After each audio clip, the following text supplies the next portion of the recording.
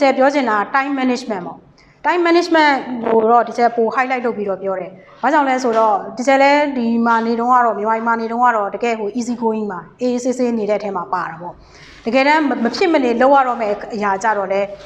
ဟိုတကယ်ဟို timeline ဆွဲပြီးတော့ဟိုရေကုန်ရေကန်တမခဲ့ရတဲ့အနေအထားမျိုးမှာဖြစ်ပါတယ်။ဟော သူများနိုင်ငံမှာနေဒီလိုနေလို့မရဘူးဆိုတဲ့အခါမျိုးကြတော့လေဒီချက်တို့လဲကိုကိုကိုပြောင်းလဲရတော့တာပေါ့နော်အနေအထားတစ်ခုမှာ။အဲ့တော့အရေးကြီးတာပါလဲဆိုတော့ဒီချက်တို့ဒီ online နဲ့လုပ်နေတာဖြစ်တဲ့အတွက်ကြောင့် time management စောစောကပြောသလိုပဲအရေးကြီးတယ်။ဟုတ်ပြီနော်ဒီ time management အရေးကြီးတယ်ဘာကြောင့်လဲဆိုတော့ time management ဆိုတာ is the process of organizing and planning how to divide your time between specific activities လောက်ရမဲ့လှုပ်ဆောင်ချက်တွေကတော့ဒါကိုယ့်ရဲ့နေ့တတူဘဝမှာအများတန်းရှိတာအဲ့ဒီကြားထဲမှာကိုကဘယ်လို time ကိုကိုယ့်ရဲ့အချိန်တွေကိုဘယ်လို manage လုပ်သွားမလဲဆိုတာအရေးကြီးတာပဲ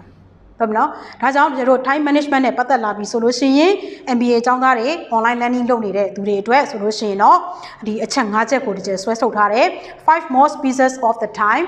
အာ management concept ပေါ့နော်အဲ့တော့ဒီ management concept ရဲ့ဒီအချိန်တစ်ခုပေါ့အနည်းဆုံး၅၅ချက်လောက်ပေါ့အဖြစ်နိုင်ဆုံးချက်ကဘာလဲဆိုတော့ eliminate the unnecessary ကိုယ့်ရဲ့နေတဲ့တူကလုပ်တွေမှာကြည့်ကြည့်လိုက်ပါမလိုလားအပ်တဲ့အရာတွေရှိလာပြီဆိုလို့ရှိရင်တော့ eliminate ပဲဖြတ်တာထုတ်ပလိုက်တော့ဟုတ်ပြီနော်ဥပမာတငယ်ချင်းတွေနဲ့တွေ့မလို့ဟိုကဘော်ဒါနဲ့ချိန်တာလို့ဆိုတာတော်တော်များများလူငယ်တွေပြောလို့ရှိကြတယ်အဲဘော်ဒါနဲ့ကဘာအတွက်ချိန်တာလဲဆိုတာအရေးကြီးတာ ဟုတ်ပြီနော်အဲ့တော့ business အတွက်ဆိုလို့ရှိရင်တော့အချိန်ထားတယ် okay ဟုတ်ပြီဒါပေမဲ့ကိုယ့်ရဲ့တင် जा ရေးနဲ့ဒီဘက်မှာလေ့လာမှုအပိုင်းကလည်းရှိနေတဲ့အတွက်ကြောင့်မို့လို့အရင်တော့ကသွားထိုင်နေတနာရီကြာစကားပြောတယ်နှစ်နာရီကြာစကားပြောတယ်အဲ့ဒီကနေပြီးတော့ကိုကအချိန်ကိုပြန်ပြီးတော့ယူရတော့ယူရမှာဖြစ်တဲ့အတွက်အဓိကကဘာလဲတာမညကဘာလဲကိုကပြန်ခွဲထုတ်ရ ဒါကြောင့်မို့လို့ကျွန်တော်တို့က eliminate the unnecessary မလိုလားတဲ့အရာဆိုလို့ရှိရင်ကိုယ့်ရဲ့ဒီ9ရက်လောက် schedule ထဲမှာမလိုလားတဲ့အရာတွေဆိုရင်ဖယ်တာဖယ်ပလိုက်တော့ပြီးလို့ရှိရင် plan your work ပေါ့ကိုလုံးမဲ့အလုပ်အတွက်ကိုကိုကစီမံချက်ကိုကိုဆွဲပါတော့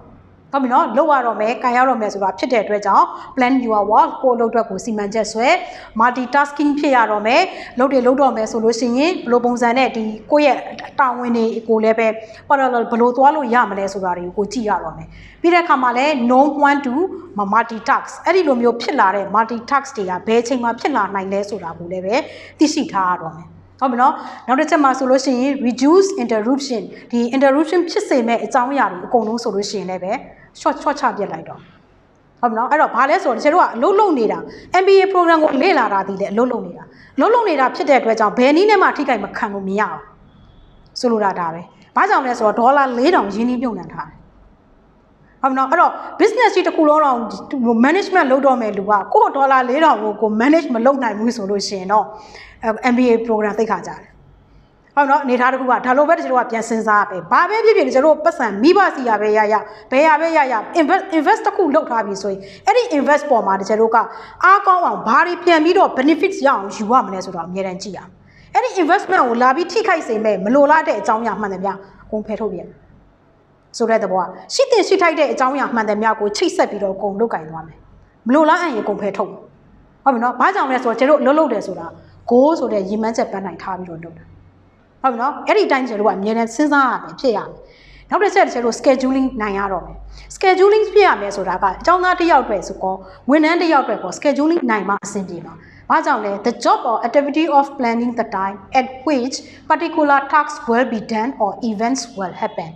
ဟုတ်နော်ဘယ်ချိန်မှဖြစ်လာမှာလဲဘယ်ချိန်မှကိစ္စရတစ်ခုကပြီးဆုံးရမှာလဲစသည်ဖြင့်ဒီနေရာမှာအလုပ်အတွက်တော့၎င်းကိုယ့်ရဲ့လုပ်ဆောင်ရမယ့် activities တွေအတွက်တော့၎င်းဒီ planning နဲ့ပတ်သက်တဲ့ဒီအချိန်တွေအကုန်လုံးကို particular task တွေအကုန်လုံးပြမြောက်ရမယ့်အချိန်ဖြစ်လာမယ့်အချိန်အကုန်လုံးကို scheduling ကုန်လုပ်ထားချိန်စရာဆွဲထုတ်ထားဒါဆိုရင်ကျွန်တော်ဘယ်လိုဆွဲထုတ်မလဲဟုတ်ပြီနော် to prepare a timetable အဲ့တော့အလဲတန်းចောင်းသားဘဝပဲပြန်ရောက်ရောက် ဒါမှမဟုတ်လို့ရှိရင်ထက်တန်းចောင်းသားဘဝပြန်ရောက်တယ်ပဲပြောပြောတိုင်တယ်ပဲဆွဲလောက်တာတော့ဟုတ်နော်တချို့ရင်တော့ကွန်ပါဘူးလေးနဲ့အာတချို့အသက်ရွယ်လောက်ဆိုဒန်းလူလောက်ဆိုမှတ်မိမလားမသိအကျန်တဲ့လူတွေအခုလည်းရှိပါတယ်နော်ဒီထဲမှာအများနဲ့တိုင်တေဘယ်လေးဆွဲထားတယ်ဘယ်အချိန်မှာဘယ်ဘာသာဝင်မှာဒါလိုပဲအဲ့ဒီအရာလေးကိုပြန်အမှတ်ရပြီးတော့ကျတို့ဘာလုပ်ရမလဲဆိုတော့ daily activities တွေကိုလုပ်ချပလိုက်တော့အရင်ဆုံးကျတို့စမယ်ဆိုလို့ရှိရင်တော်တော်များများက Monday ကနေစကြတာများပါတယ်ပေါ့နော်အနေထားတစ်ခုကစစဉ်းစားလိုက်တယ် Monday ဆိုလို့ရှိရင်ကျတို့ဘာတွေလုပ်ရမလဲ ဟုတ်ပြီနော်အဲ့တော့လုပ်သွားမယ်အချိန်ကိုဆွဲထား Monday Tuesday Wednesday Thursday Friday Saturday Sunday Saturday Sunday ဆိုလို့ရှိရင်ဒီချက်ကဒါနမူနာလေးပဲပြတာနော်ဒီချက် black နဲ့တော်တော်များများကြီးထားတယ်ဆိုတဲ့ပုံစံမျိုးမဟုတ်ဘူးဘယ်လိုဆွဲရမလဲဆိုတာလေးကိုပြထားတာအဲ့တော့အရင်တော့ Saturday Sunday ဆိုလို့ရှိရင်အလုပ်ပိတ်တဲ့အတွက်ကြောင့်အားလုံးက enjoy မယ် happy မယ် events တွေသွားမယ်အနေထားတစ်ခုမှာပေါ့ဘာတွေဖြစ်မယ်ဆိုတာနဲ့ကုံဆုံးကြတယ် အခု Saturday Sunday ဆိုလို့ရှိရင်တချို့တို့ကဒီနေရာမှာ full full အကုန်ဖြစ်သွားတာဘာနဲ့ full ဖြစ်သွားရမလဲဆိုတော့ study နဲ့ full ဖြစ်ရအောင်ဘာကြောင့်လဲဆိုတော့ဒီ Monday ကနေပြီးတော့ဒီမှာရှိတဲ့ဒီ Friday လောက်အထိอ่ะမင်းတို့အလုပ်တွေအများကြီးနဲ့ကြက်ဝန်ထမ်းဆိုလို့ရှိရင်လုပ်ငန်းရှင်ဆိုရင်လည်းအလားတူပဲဒီနေရာမှာ तू အလုံးနဲ့ပတ်သက်ပြီးတော့ဒါ business networking နဲ့ပတ်သက်တာတွေ तू မှာအများကြီးရှိအနေထားမှာဒါတွေကကြတော့တချို့တို့ကဒီနေရာမှာမှန်းလို့မရအောင် မှန်းလို့မရတော့အချိန်နဲ့ခွဲထုတ်လိုက်မယ်ဆိုရင်ဟုတ်ပြီ9နာရီကနေ12နာရီလောက်ထိတော့ငါအလုပ်လုပ်တယ်တနာရီကနေ3နာရီလဲဝန်ထမ်းဆိုရင်တော့ဒီမှာရှိနေအောင်မယ်အဲ့ဒီလိုပဲအလုပ်မလုပ်သေးတဲ့သူဆိုလို့ရှိရင်တော့ဒီနေရာမှာ9ရက်လုံးဖြစ်နေတာဖြစ်တဲ့အတွက်ကြောင့်သူ့အတွက်ကတော့ fixed schedule ဖြစ်ဖို့ဖြစ်ရပါတော့ဟုတ်ပြီနော်ကျန်တဲ့လူတွေကတော့ဒီနေရာမှာအကွက်လေးတွေဖြည့်သွားပြီးတော့ဘယ်ချိန်ပါလို့မယ်ဘယ်ချိန်ပါလို့မယ် study time ကိုတော့ဒီချက်ထဲမှာတနာလို့17နာရီလောက်ထိပေးထားတယ်ဘယ်နိုင်လောက်ထိလေ့လာမယ်စိတ်ဘူးလေညဘက်ပေါ့ မအိမ်မချင်းမအိမ်မချင်းဆိုတာအမှရှင်းထိုင်လောက်ဒုံကနေအိမ်ပြောပါရင်ဘယ်လိုတော့ဆိုလိုတာဟုတ်ပြီနော်ကျတော့ဆိုလို့ရှိရင်ဟိုဘယ်လိုဖြစ်သွားလဲဆိုတော့လူကလေဟိုတော်တော်လေးအသမခံတဲ့နေရာမျိုးမှာနေလာတော့ငုတ်တုတ်လဲအိတ်တက်တယ်နိုင်ရန်လေးတစ်ချက်ပဲရှိတယ်အဲ့ဒါကိုမှီပြီးအိတ်အိတ်တက်သွားတယ်မတက်ရက်လဲယထာပေါ်မှာအိတ်အိတ်တက်သွားတယ်ဘာဖြစ်သွားလို့လဲဆိုတော့ MBA program ကိုလေ့လာပြီးဆိုတဲ့ကွာမင်းတို့မှအချိန်မရှိတော့ဘူး ဘယ်အချိန်မရှိတော့တာလဲဆိုတော့အဲ့ချိန်မရှိဘူးဟုတ်မလားပြောတဲ့အတိုင်းပဲမှန်းထားတဲ့အတိုင်းပဲအရင်တော့ကအာ Harvard University မှာဆိုရင်ဘလို့ဘာညာနဲ့ဓာတ်ပုံကြီးတွေတက်လာတော့ဒီ post တွေကြည့်လိုက်လို့ရှိရင်အဲဒါတွေကတော်တော် over ဖြစ်လွန်းပါတယ်ပေါ့အဲကိုကိုယ်တိုင်ခံစားလိုက်ရတော့လည်းသိသွားတာပေါ့ဟုတ်ပြီနော်အနေထားမှာဘလို့အနေထားဖြစ်ရလဲဆိုတော့ငွေပြောသီးသလုံးနဲ့ပြီးလာတဲ့နေ့လည်းရှိတာပဲအနေထားမှာထမင်းဟင်းတွေဘာကြီးပျောက်သွားတာဘာဖြစ်လို့လဲဆိုတော့ပွဲပွဲပွဲပြက်နေတယ် ပွဲပြက်နေတာဘလို့ပွဲပြက်လဲဆိုတော့ exam တွေရော assignments တွေရောပြီးတဲ့အခါတစ်ဖက်က thesis ကိုပုံမှန်ဆိုင်လောက်ပြုံကျလာတဲ့အဲ့ဒီလို semester မျိုးဆိုလူကပွဲရပြက်နေเนาะတစ်ခါမှသွေးရိုင်မရှိတော့ဘူးယူဆုပ်ကြတယ်နေထားမှာအဲ့လောက်အဲ့လောက်ထိကြံကြံတန်းတန်းကိုဖြတ်ကျော်ရတယ်အနေထားတစ်ခုမှာဟုတ်နော်အခုကျတော့ကျွန်တော်ကဗာလဲဆိုတော့ online ဆိုပြီးတော့ပေါ့ပေါ့တန်တန်လေးတွေးလိုက်မအောင်တယ်အရန်ဆိုးရင်ဟို online ကပိုအယူဆိုင်ရတယ်ဆိုတော့သိစေချင်လို့ဒီ program ကိုဒီကျကမရအောင်အကြောင်းကိုပြောပြီးတော့အဲ့ဒါပြောမှရမှာအနေထားမှာ online ကပိုးဆိုးသွားတာဘာလို့လဲဆိုတော့ကိုယ့်လက်ထဲအကုန်လာထည့်ထားတော့အဲလေ့လာခြင်းနဲ့လေ့လာမယ်မလေ့လာခြင်းနဲ့မလေ့လာအောင်အချိန်အလုံးကကိုပိုင်နေတာဖြစ်တယ်ဘယ်ဆရာဆရာမလည်းမလည်းကြည်နေတာမဟုတ်တဲ့အတွက်ကြောင့်ဖတ်ချင်တယ်ဖတ်မယ်မဖတ်ချင်တယ်မဖတ်ဘူးသွားချင်တယ်သွားမယ်နေချင်တဲ့နေမယ်ကိုယ့်အိမ်ကိုဘလို့နေနေဆိုတော့ကိုယ့်အခန်းကိုဘလို့နေနေဆိုတဲ့စိတ်မျိုးဖြစ်သွားနိုင်တယ်နေထားမှာဒါပေမဲ့တော့ concentration ကိုအပြည့်ထားပါအပြည့်ထား ဘာကြောင့်လဲဆိုတော့အာယုံတွေအများကြီးဖြစ်လာနိုင်တဲ့အတွက်ကြောင့် prepare a timetable timetable တစ်ခုပါဆွဲချပြီးတော့ဘာလုပ်မလဲဆိုတဲ့ daily activities တွေကိုအကုန်ကောက်ပြီးပြစ်ထည့်ထားပါစနေ dream တွေဆိုလို့ရှိရင်ဒီကျပြောထားတယ်ဒီဟာတွေအကုန်ပြည့်နေရမှာအကွက်တွေပါခင်ဗျာ ဒါမနော်ဒါပေမဲ့အချိန်လေးနဲ့ပေါ့ငါဒီနေ့ဘယ်ဘာသာကိုလေ့လာမယ်ဘယ်ချိန်ကနေဘယ်ချိန်ဆိုရင် organizational behavior ကိုဖတ်မယ်ပြီးရင် organizational behavior နဲ့ချိတ်ဆက်မှုရှိတာမနေ့ပြန် day 2မှာဆိုရင် subject matter တွေကိုပြောတော့မယ်ဘာသာရပ်တွေကိုဆက်ဆက်ဆက်ဆက်ပြီးတော့ဘာနဲ့ဘာနဲ့ချိတ်ပြီးတော့လေ့လာသွားရလဲဆိုတာကိုပါရှင်းပြမယ်မနေ့ပြန် ဟုတ်မနော်အဲ့တော့ timetable တစ်ခုကောင်းကောင်းပြင်ဆင်ထားပါပြီးတဲ့အခါမှာလည်းကျတို့ဒီနေရာမှာ subject matter တွေနဲ့ပတ်သက်လာပြီဆိုရင်လည်းဆွဲထုတ်ထားပါဆောစောကပြောသလိုအချိန်အရဆောစောက activities တွေအတွက် timetable ရှိသလို subject matter တွေကိုဘယ်ချိန်မှလေ့လာမလဲ financial management လားပြီးတဲ့အခါမှာဒီ NMA ကနေလုပ်ပေးနေတဲ့ group discussion တွေရှိနေတာလားဟုတ်ပြီနော် assignment တွေရေးရတော့မှလားစသည်ဖြင့်ဒီနေရာမှာလုပ်ပြရတော့မယ် subject matter တွေကိုဖြစ်ထည့်ပြီးတော့အခါမှာစဉ်းစားရပါတော့ဟုတ်နော်နောက်တစ်ချက်ကျတို့ confidence confidence level အားကောင်းမှုလိုတယ်စောစောက confidence မှာလည်း student type ၃မျိုးကိုဒီချက် highlight လုပ်ပြီးတော့ပြောသွားပြီးပြီ confidence level ကတော့တကယ်ကို high level မှာအကုန်လုံးရှိနေရဘာကြောင့်လဲ confidence ဆိုတာဟာ comes from feeling of well being acceptance of your body and mind your self esteem and belief in your own ability skills and experience လို့ပြောထားတယ်ဒီသက်ဒီရွယ်ရောက်မှာတော့ဟောနော်နေထားတစ်ခုက ဒီယာတွေတောင်ရထားမှတော့ဘာလဲဆိုတော့ခါရံကြလို့ရှိရင်ကိုယ့်ရဲ့ကွန်ဖုတ်တွေကကိုယ့်ကိုပြန်ဖိစေးတယ်ကိုယ့်ကိုပြန်ဖိစေးရင်အဲ့ချိန်တွေအကုန်လုံးနောက်ဆုတ်ဆုတ်သွားလိမ့်မယ်ဟုတ်မလားဘာကြောင့်လဲဆိုတဲ့အခါကျတော့ကျတို့အလုပ်လုပ်တယ်ပြန်လာတယ်ထမင်းစားတော့တယ်ပြီးရင်ထိုင်ပြီးတော့အလုပ်စပွဲမှာထိုင်ပြီးတော့ဒီ academic back ကိုလေ့လာတဲ့အချိန်လုံးလုံးလိုက်တာဟာညတနာရီတွေနှစ်နာရီတွေကုန်ဖြစ်ကုန်ဘာကြောင့်လဲဆိုတော့ကိုလုံနေတဲ့အရာတွေအကုန်လုံးကကိုအကုန်ပြန်ဖြီးစည်းသွားတာအနိုင်ယူသွားတာ ဘာလို့ဆိုစက်ထိန်းတာတော့မှလွတ်ချလိုက်လို့မရအောင်မဖတ်လို့မရဘူးစာပြန်သင်းမဲ့လူတစ်ယောက်ကစာဖတ်ကိုဖတ်နေရမှာနှိမ်လိုက်ဖတ်နေရရှင်းနော်အဲ့တော့အလုတ်ကလည်းတစ်ဖက်မှာရှိတယ်ဒီ academic နဲ့ပတ်သက်တဲ့ဒီသင်ကြားရေးနဲ့ပတ်သက်တဲ့အပိုင်းကလည်းတစ်ဖက်မှာရှိတယ်အလုတ်ကဘယ်နှခုဖြစ်တာလဲအလုတ်ကနှစ်ခုဖြစ်တာ နော်အလုတ်နှစ်ခုကလည်း heavy ပဲတစ်ဖက်မှာလည်းယာရုတစ်ခုနဲ့ဟိုတစ်ခုလုံးဟိုတော်တော်များများအဲစိုက်မလို့တော့သိပါတယ်နော်မပြောတော့တော်တော်များများဟိုခေါင်းခဲပြီးတော့ဟိုအိမ်ကမုံထည့်ပေးလိုက်ရင်တော့မုံနှစ်ခုထည့်ပေးတစ်ခုပဲစားတစ်ခုပဲထည့်ပေးအဲ့တစ်ခုကအဲ့တိုင်းအိမ်ကိုပြန်ပါလာနော်အလုံးလုံးမှုအတိုင်းအတာရဲ့တာဝန်ရဲ့ဝတ္တရားတွေကအလုပ်ထက်မှကြာရင် very strictly အကုန်ပြည့်တန်ဖိုးကအပြည့် အဲ့ဒီတိုင်းပဲအိမ်ပြန်ရောက်လာတယ်ရောက်လာတဲ့ခါကျလို့ရှိရင်ငါစာဖတ်ရတော့မယ်လေ့လာတော့မယ်ထမင်းစားပြီးတာနဲ့တပြိုင်နက်တည်းနောက်လျှောက်စာဖတ်ဖို့လုပ်ရဘာတွေဘာတွေလုပ်ရမယ်ဘယ်အကြောင်းတွက်ကဘာဘယ်အကြောင်းတွက်ကဘာအကုန်လုံး scheduling နဲ့အကုန်ပြည့်ရှိပြီလားဆိုလိုတဲ့သဘောကအဲ့ဒီတိုင်းပဲတချို့တို့ကဘာလဲဆိုတော့ကိုယ့်ရဲ့ confidence ငါလုံနိုင်တယ်ကိုကိုကိုလည်းပဲဒီနေရာမှာ confidence ရှိထားတယ်ဆိုတာဟာ feeling of well being acceptance of your body and mind your self esteem and belief in your own ability ဒီကျလဲကိုယ့်ရဲ့အစွမ်းစားကိုကိုယုံကြည်တယ်ယုံကြည်လို့ဆက်လုပ်တယ်ဒါပဲဟုတ်ပြီနော်ငါလုံနိုင်တယ်သူများအိတ်နေတဲ့အချိန်မှာငါစာဖတ်နေရတယ်ငါစာဖတ်နေရလို့ငါဒီလိုဖြစ်တာ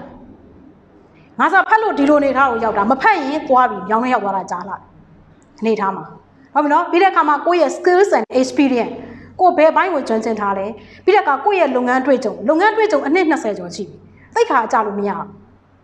သိခါကြလို့မရဘူးဆိုတာဟာ တင်တဲ့သားရင်နဲ့စာပြန်တင်တဲ့အချိန်မှာဘာမှကိုယ့်ရဲ့ working experience နဲ့မချိတ်နိုင်တဲ့ဆရာမတယောက်ဖြစ်လို့မရဘူးအရှင်းဆုံးကဒါပဲဒါကြောင့်မို့ကိုယ့်ရဲ့ဒီနေရာမှာ experience တွေကအစအကုန်လုံးတစ်ချက်တို့က confidence ရှိရှိနဲ့လုတ်ကင်သွားဖို့အတွက်ဒီအချက်လက်တွေကနေပြီးတော့ရလာတာလေဖြစ်သလို confidence ဆိုတာ is an attribute ဟလာယုံကြည်မှုရှိလာပြီဆိုလို့ရှိရင်ဘာဖြစ်သွားလဲဆိုတော့ तू ကတကယ်ကိုထောက်ကူပေးမဲ့ထည့်ဝင်ပေးမဲ့အချက်တစ်ခုပဲ that most people would like to possess ပဲ ဟုတ်ပြီနော်အဲ့တော့တော်များများဒါကိုပိုင်ဆိုင်သွားတယ်ဆိုတဲ့ပုံစံမျိုးနဲ့ attribute တစ်ခုလိုဖြစ်သွား confidence ရှိနေလို့ညတနာရီမိုက်တာ confidence ရှိလို့ညနနာရီထိစာဖတ်တာ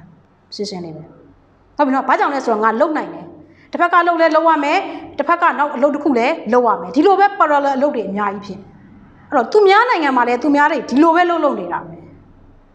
တော့တချို့လည်းဒီတိုင်းပဲဖြစ်ရမယ်အားလုံးတကုန်းတရက်လုံးတူတယောက်စီကနေပြီးတော့ဝန်းကျင်တစ်ခုလုံးအုံကြွလာတာမျိုးဖြစ်ကိုဖြစ်ရ ဒီဘက်ကလည်းဝင်ငွေတနည်းအားဖြင့်ရမယ်တစ်ဖက်ကလည်းအလုံးလုံးလို့ရမယ်နောက်ထပ်ဘာနေပြီးတော့ဘယ်လိုပုံစံနဲ့ရအောင်မလဲကောင်းသော business နဲ့ကောင်းသောအပြုအမူအကျင့်ကြံတဲ့ဝင်ငွေရှာနာမှန်သမျှသည်အားလုံးကတန်တရားကင်းကင်းနဲ့ကိုယ့်ဘဝကိုကိုစိတ်ချကြနဲ့ဆက်သွားလှမ်းသွားလို့ရပါတယ်ဟုတ်နော်ဒါကြောင့်အမြဲတမ်းကျွန်တော်က confidence level ကောင်းနေဖို့လိုအပ်တယ်ဆိုတာက MBA level ကိုစူးစမ်းနေပြီဆိုလို့ရှိရင်လည်း confidence က high level ပဲဖြစ်ရမယ် how to study online MBA ဒါဆိုရင် online MBA ကိုကျွန်တော်တို့ကဘယ်လိုလုပ်ကြမလဲဟုတ်ပြီနော်ပြီးရင်တော့ကိုလင်းမြတ်ကိုမေးလို့ရတယ်ဒီ program နဲ့ပတ်သက်ပြီးအသေးစိတ်သူရှင်းပြမယ်ဒီဘက်မှာ batch 4တွေလည်းရှိတဲ့အတွက်ကြောင့်အရင်ဆုံးကတော့ကျွန်တော်ရှင်းပါတယ် watching and listening lecture video ဟုတ်ပြီနော်အဲ့တော့ video file တွေကိုကျွန်တော်တို့ကြည့်ရပါမယ် online ဖြစ်တဲ့အတွက်ကြောင့်မလို့ပြတ်ကွက်သွားလို့မရဘူး slide တွေပါလာမယ်အဲ့ဒီ slide တွေကိုလည်းဖတ်ရပါမယ် textbook တွေအထူကြီးတွေပေးပါလိမ့်မယ်အရန်ကိုလူတွေဓာတ်ပုံရိုက်ရိုက်ပြီးသားတင်မှာရှိန်သွားပါလိမ့်မယ်နေထားမှာ ဟုတ်ပြီနော်ကင်ထားတာ leadership နော်ဘာမှတ်နေလဲလက်ထဲမှာဆိုတာမျိုးဟုတ်ပြီနော်အနေထားမှာပြီးတဲ့အခါမှာကင်ထားတဲ့စာအုပ်က strategic management ဘာမှတ်နေလဲဆိုဟာဒီ manager ကြီးဆိုဖြုံသွားလိမ့်မယ်လူတွေကနော်အဲ့ဒီတိုင်းပဲ reading slide textbook relevant references အဲ့ဒီ relevant references ကကျောင်းမှာလည်းရှိမယ်ပြီးတဲ့အခါမှာနောက်ထပ်ဒီ Google search engine ကိုသာကောင်းကောင်းသုံးလိုက်ပါ journal article တွေအများကြီးဖတ်လို့ရတယ် ဟုတ်ပြီနော်ဒီ journal article တွေဘယ်ချိန်မှဖတ်မလဲဆိုတော့ assignment ရေးပြီဆိုအများကြီးထောက်ဖို့ပြု human resource management နဲ့ပတ်သက်တဲ့ Google Scholar ထဲမှာ journal article တွေတောက်လျှောက်အကုန်အများကြီးရှိတယ်။သိနေချီရှိတယ်။ဟုတ်နော်အဲ့တော့တချို့တယ်လီဖုန်းကကျွန်တော်တို့ကဒီလိုလေး Facebook ကိုပုတ်နေတာနဲ့အချိန်ကုန်လို့မရဘူး။ဘာသိချင်လဲ www. သာရိုက်ထည့်ချပါလား။အများကြီးဝင်ရှာလို့ရအများကြီးဖတ်လို့ရ။ဟုတ်နော် leadership နဲ့ပတ်သက်ပြီး assignment ရေးရတော့မယ်။ assignment မရေးခင်မှာဘာလုပ်မလဲ textbook ပေးထားတယ် slide ပေးထားတယ် slide တွေရှင်းပြတဲ့အတွက်ကြောင့်သိတယ် textbook ကတော့ theory တွေကိုးကားတွေရမယ်အဲ့ဒီစောစောကပြောတဲ့ relevant reference တွေကို Google Scholar ထဲမှာ leadership နဲ့ပတ်သက်တဲ့ journal article တွေ download ဆွဲပြီးကုန်ဖတ်ကြည့်ပါကိုယ့်ရဲ့ assignment ဘလို့ရုပ်သွေးကြလာမလဲဆိုတာအမှအများကြီးအနှစ်သာရတွေရှိလာပါဟုတ်နော်နောက်တစ်ချက်ကျွန်တော်တို့ writing notes keyword summary တတချို့ကအဲ့မှာဘာပြဿနာရှိလဲဆိုတော့အဲ့ဒီ keywords မှာပြဿနာရှိတ ချို့ကကြတော့ဒီ language အရန်ကောင်းတဲ့အတွက်ကြောင့်မို့လို့ management စကားလုံးရ HR မှာသုံးရမယ် retention ရ HR မှာ retention လို့ပဲသုံးမှာနောက်တစ်မျိုးပြောင်းမသုံးဘူးဟုတ်ပြီနော်အဲ့ကကြတော့ကျတို့ကဘာလို့လဲဆိုတော့အဓိက keywords တွေကိုမှတ်တာ keywords တွေကဘာတွေလဲဘာတွေလဲဆိုတာကိုယ့်ရဲ့ subject matter လိုက်မှတ်ရတော့ဟုတ်ပြီနော်ဥပမာ financial management မှာ dividend ကို तू က financial management မှာ dividend လို့ပဲသုံးမှာအဲ့ဒါကိုထပ်ပြီးတော့နောက်ထပ်စကားလုံးတစ်ခုထပ်သွားလို့မရအောင် အနေထားစသည်ဖြင့်အဲ့လို keywords မျိုးတွေမှတ်ရမယ် writing notes notes တွေအများကြီးထုတ်ထားရမယ်ဒီဒီဗလာစာအုပ်တစ်ခုကိုယူထား chapter တစ်ခုကိုလေ့လာပြီးပြီဆိုလို့ရှိရင် notes လေးတွေမှတ်ထားမယ်ဟုတ်ပြီနော်ဘယ်ချက်တွေပါသွားတာလဲဘယ်ဟာတွေလဲပြီးရင် summary summary ဆိုတာ summarize လုပ်တတ်ရမယ်အနှစ်အနှစ်ချုပ်တတ်ရမယ် chapter တစ်ခုကိုပြီးသွားတာနဲ့ textbook မှာလည်းပဲ summary လေးတွေအများတန်းပါတယ်အဲ့ဒီ summary လေးတွေကဒီ chapter တစ်ခုကြီးလုံးကိုပြောထားတဲ့ဟာကိုအနှစ်သာရဘာဆိုတာလေးကိုပြန်ပြီးအချင်းချုပ်ပြီးတာ ဟုတ်မလားအဲ့တော့တချို့က textbook ကြီးမြင်တာနဲ့ဝါကနေဆိုပြီးတော့တန်းပြီးတော့ဒုံးကနေအိပ်ပြောသွားနော်အဲ့တော့ဝါကနေတန်းပြီးဒုံးနဲ့ပြောမှာမဟုတ်ဘူးတချို့တို့အ ਨੇ ဆုံးဘာလို့လဲဆိုတော့မြင်မြန်ဖတ်တတ်တဲ့အချင်းရှိရတယ်မြင်မြန်ဖတ်တတ်တဲ့အရာဘာလဲဆိုတော့အဲ့ဒီ chapter နောက်က summary ကိုအရင်ဖတ်လိုက်အနှစ်ချုပ်ထားတာဘာလဲဆိုတာကိုအရင်သိအောင်လုပ်လုပ်ပြီးတော့မှရှေ့မှာရှိတဲ့ theory တို့ definition တို့အဲ့ဒါကိုကြတော့တချို့တို့သိချပြန်ပြီးတော့သွားမယ် ဟုတ်ပြီနော်ဆိုတဲ့ဟာဒါကြောင့်ပြည်တို့ကဒီနေရာမှာ summary လေးတွေလည်းဖတ်ရမယ် preparing assignment assignment ရေးဖို့အတွက်လည်းပဲပြင်ဆင်ရမှာပြင်ဆင်တော့မယ်ဆိုရင်လည်း assignment ဘယ်လိုရေးလဲဆိုတာ assignment ရေးနည်း technique ကစ day 3မှာသင်ပေးပါဟုတ်ပြီနော်ဒါကြောင့်ပြည်တို့ online MBA တခုကိုဘယ်လိုလေ့လာမလဲဆိုတာလေးကိုဒီချက်၄ချက်နဲ့ဒီချက်ကထည့်ပေးထားတယ် the way forward ရှေ့ဆက်သွားဖို့အတွက်ကြည့်ရတော့ရှေ့ဆက်သွားဖို့ကြည့်ရပြန်ဆိုတဲ့နေရာမှာဆိုရင် ဒီချက်ကိုယ်တိုင်လည်းအခုကိုကိုယ်တိုင်တော့ online training တွေတက်နေသေးတယ်လူက learning နဲ့ဘာမှပြတ်ကွက်လို့မရအောင် training တက်တာတော့ကြာသေးတယ်စမှုပဲဖြေတော့ဟုတ်မနော်ဘာဖြစ်လို့ကြာလဲဆိုတော့သူများကိုသင်ဖို့အတွက်ကြီးပဲလုပ်နေတာကိုယ်စာကိုမဖတ်နိုင်ဘူးတခါတရံမှာအနေထားဖြစ်သွားတယ် အဲ့တော့ learning ကလည်းတစ်ဖက်မှာရှိတယ်သူများကိုလည်းပြန်ပြီးတော့ sharing လုပ်ပေးတယ် teaching နဲ့လုပ်ပေးတယ် working နဲ့ဖြစ်တယ်ဘာလဲဆိုတော့ကိုယ့်ရဲ့လုပ်ငန်းမှာလည်းပဲကိုကပြန်ပြီးတော့အသုံးချမှုတွေအများကြီးလုပ်ပေးတယ်အဲ့တော့သုံးခုလုံးတစ်ခါလေစင်မြိုင်တအား pressure များပြီးတော့ပြီးသွားတဲ့အခါမျိုးကြရင် teacher ပဲအနစ်နာခံတယ်ဘာဖြစ်လို့ teacher ကြလိုက်တ ယ်အဲ့တော့တစ်ဖက်မှာရှိတဲ့သူများကိုသင်ရမယ့်အကြောင်းအရာတွေပြက်ကွက်လို့မရဘူးဖြစ်လို့မရဘူးဒါကိုလုပ်ထားတယ်အလုပ်ပိုင်းနဲ့ပတ်သက်တာပြက်ကွက်လို့မရဘူးချွတ်ယွင်းသွားလို့မရဘူးနှစ်ခုကိုပေးလိုက်တယ်ခါတရံကြရင်ကိုကိုကိုပဲနည်းနည်းအနစ်နာခံရတယ်ဒါပေမဲ့စမဝဲကအောင်နာရဲ့ကြတိုင်းနှစ်ခုပဲရှိတာအဲ့ဒါကိုရဲရဲရင်ဆိုင်ဘာမှမဖြစ်ဘူးမသိမချင်းကုန်ဖြေလို့ရတဲ့ကိစ္စတချို့ကတိခနဲ့ဆိုကြောက်ရတာနဲ့အောင်မလေး feeling အကြီးခံစားပြီးတော့အာတော်ပြီငါကြောက်သွားပြီငါ MBO တော်တော်ကြောက်သွားပြီငါ grade က C ဆိုတာကွာတော်တော်အခြေအနေစိုးနေပြီ ဟုတ်နော်စီဘေးလဲယူရမှာပဲဒီဘေးလဲယူရမှာပဲကိုလို့ချင်လို့ကိုလို့တာကိုပိုင်တယ်ကိုပါစံနဲ့ကိုတက်တာမချင်နဲ့ရင်နှစ်ခါပြန်တက်လို့ရတယ်ဒီကျတော့အဲ့လိုပဲတတ်မှတ်တာဆမွဲဆိုတဲ့အရာကိုကြောက်ကိုမကြောက်ဘူးစတလုံးမှမကြက်ဖဲလဲဝင်ဖြေရင်ဖြေနေတာဘာလို့လဲဆိုတော့တမွဲဆိုတဲ့အရာကိုယ်သွားရမယ့်အရာမဟုတ်ဘူးဒီနေ့ဒီရက်ဖြေရမယ်ဆိုတာဖြေကိုဖြေရမှာကြက်နိုင်ခြင်းမတက်မကြက်နိုင်ခြင်းကကိုယ်ကိစ္စကိုယ်ကြောင့်ဖြစ်သွားတာဒါပေမဲ့ exam ကို absent ဖြစ်တယ်ဆိုတာလုံးဝမဖြစ်တယ် 9မှတ်လဲယူလိုက်တာပဲ6မှတ်လဲယူလိုက်တာပဲဘဲဟူကွဲလာရင်ရတယ်အချက်မကွဲဘူးဟုတ်တော့ဆိုရဲသွားအဲ့ဒါဘာလဲဆိုတော့လူတိုင်းမှာအမြဲတမ်းခံယူချက်ကအဲ့လိုဖြစ်နေတာကြာရင်လည်းပြန်ဖြေမှာပဲမအောင်မချင်ဖြေနေလို့ရတဲ့အရာတခုဘယ်သူမှတားမြစ်ထားတာမဟုတ်ဘူးဒါကြောင့် exam ကိုရဲရဲရင်ဆိုင်ရမယ်ကျေတို့ကဒါကြောင့်ကျေတို့ကပြောထားတယ် education is a lifelong journey ဘဝတစ်လျှောက်လုံးအတွက်ခရီးရှည် တစ်လျှောက်လုံးသင်နေရမှာတစ်ချောင်းလုံးတစ်ချက်လို့လေ့လာနေရမှာဒါကြောင့် whose destination is spent as you travel ကိုခရီးနှင်ရင်နှင်သလောက်သူ့ destination ကိုရှိနေမှာဟုတ်မနော်မိုင်းတ10မိုင်ကနေမိုင်း100လည်းဖြစ်သွားနိုင်တယ်မိုင်း100ကနေမိုင်း1000လည်းဖြစ်သွားနိုင်တယ်ကိုခရီးနှင်ရင်နှင်နှင်သလောက်ပဲနောက်တစ်ချက်ကကျွန်တော်စဉ်းစားမယ်ဆိုလို့ရှိရင် MBA program MBA is not just a course it is a journey of hard work pain motivation sleepless night နောက်တစ်ချက်က friendship and most importantly perfection လို့ပြောထားတယ်ဟုတ်နော် MBA program ဆိုလေ့လာမယ်ဆိုလို့ရှိရင် MBA ဆိုတာဟာဘာသာရပ်တစ်ခုတည်းမဟုတ်ဘူးဘာဖြစ်ရအောင်မလဲသူဒီခရီးရှည်ကြီးတစ်ခုဘာလုပ်ရမှာလဲအလုပ်တွေလည်းစူးစမ်းအောင်မယ်တကယ်ကိုကြိုးကြိုးစားစားနဲ့လုပ်ကင်သွားရမယ်နာကျင်ရအောင်မယ်ခံစားရအောင်မယ်ဟုတ်ပြီနော်နောက်တစ်ချက်ကကြတော့ကျတော့ motivation ဟာလာကိုယ့်ရဲ့စိတ်အားမြင့်တင်မှုတွေတကြွမှုတွေအဲ့ဒီချက်တွေလည်းလိုအပ်တယ် sleepless nights ဘာလဲလဲအရေးပြက်ညတွေလည်းအများကြီးဖြစ်လာအောင်မယ်ဟုတ်မနော်နောက်တစ်ချက်ကပါရှိဦးမလဲ friendship and most importantly perfection နောက်ဆုံးမှာအားလုံးပြည့်ပြည့်စုံပြီးတော့ကောင်းကောင်းမွန်မွန်နဲ့ဖြစ်သွားရမယ်ဆိုတဲ့အချက်ပဲ MBA ကိုဘာသာရပ်တစ်ခုအနေနဲ့မြင်ရမှာမဟုတ်ဘူးဒါခရီးရှည်ကြီးငါတို့နှင်နှင်သွားရမယ်အချက်ပဲ ဟုတ်ပြီနော်အဲ့တော့အားလုံးက MBA program ကိုစတက်လိုက်ပြီးဆိုတာနဲ့တပြိုင်နက်တည်းဘရင်အောင်ဖောင်ဖြက်ပြီးတိုက်ပွဲဝင်တယ်လို့ပဲဝင်ချလိုက်ပါတော့ဟုတ်မနော်တစ်ချက်ဒူမအစားတစ်ချက်ကိုဘာတွေစာတွေလာလာမေးတယ်မသိဘူးလို့ပြောလိုက်ဟုတ်မနော်ဟို assignment တွေရေးနေဖတ်ပေးတယ်မအားဘူးလို့ပြောလိုက်တယ် email တွေကလင်းကားကောက်လာပို့နေသူ့ email ဆို skip လုပ်လိုက်ကြော်သွားလိုက်တယ်ဘအမှန်က great ကြဝိုင်းဘယ်လိုလုပ်လဲဒါပဲရှိတာလေခံနိုင်ရင်ရှိအောင်လုပ်ဘာလို့ဆိုမြန်မာပြည်ကအကြောင်းသူစစ်စစ်လည်းဖြစ်တယ် ဟိုဆယ်တန်းလဲဂုံလူ၅ဘာသာနဲ့အောင်ထားတာဆိုတော့ तू ကနည်းနည်း proud ဖြစ်တယ်ဘာပဲဖြစ်ဖြစ်အမှတ်ကအမြင့်ဆုံးရနေရမှာဆိုတာလုတ်တိုင်းဖြစ်တယ်ထင်နေတာမဖြစ်တာလေးလည်းခံစားကြည့်ရမှာဘာမှမဖတ်ဘူးဆိုနေကွာဘာလဲဆိုတော့သူ့ရဲ့စွမ်းအစသူ့စွမ်းအစတုံညဆိုရင်တုံညကိုသူခံယူသူ့စွမ်းအစတစ်ဆိုရင်တစ်ကိုခံယူဘာပဲဖလားလားခံယူနိုင်စွမ်းအားရှိရမဟုတ်လို့ရှိရင်ဘေးဘီကိုကြည့်ပြီးတော့ဘာဖြစ်လဲဆိုတော့အာကိုအာကိုလိုက်ရှာ အနေထားတစ်ခုမှာအဲ့တော့ရဲရဲတာအရေးစွန့်ပြီးတော့လောက်ပါရှိနေတဲ့အလုပ်တွေမှန်သမျှကိုစောစောကပြောသလို schedule တွေအကုန်လုံးပြန်ချ activities တွေရော subject matter လေ့လာဖို့တွေရော schedule ထဲမှာထည့်ထားဒီနှစ်က2021ခုနှစ်ကနဲ့2021နဲ့2022ကကိုယ့်ရဲ့ဒီဟာ education